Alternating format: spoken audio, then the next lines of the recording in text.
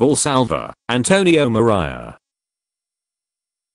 Valsalva, Antonio Maria, Italian anatomist and pathologist, physician, and surgeon, 1666-1723, perhaps best known for the Valsalva maneuver. Valsalva described and depicted even the smallest muscles and nerves of the ear, subdividing the ear into its internal, middle, and external parts, and he showed an original method of inflating the middle ear, Valsalva maneuver.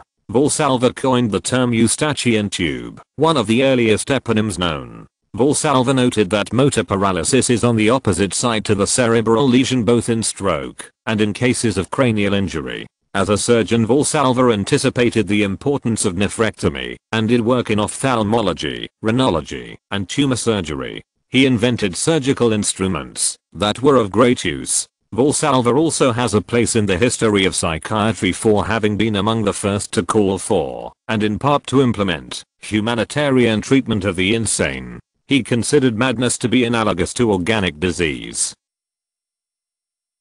V L S L V N T O N I O M R I A Valsalva, Antonio Maria